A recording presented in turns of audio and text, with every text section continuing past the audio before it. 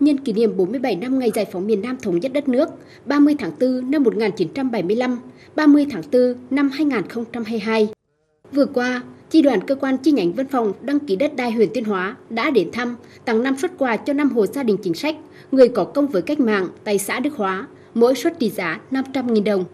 Tại những nơi đến thăm, đoàn viên chi đoàn đã ân cần thăm hỏi tình hình đời sống, sức khỏe và bày tỏ lòng biết ơn sâu sắc trước những hy sinh, mất mát của các gia đình chính sách.